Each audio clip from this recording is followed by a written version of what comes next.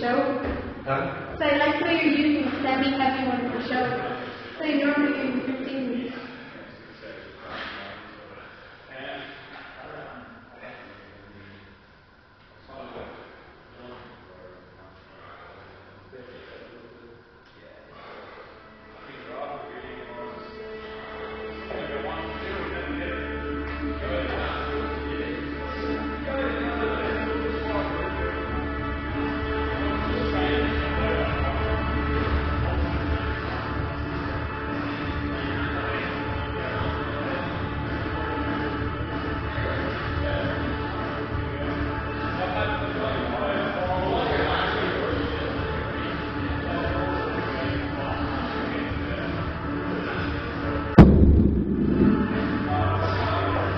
Dominic, you said he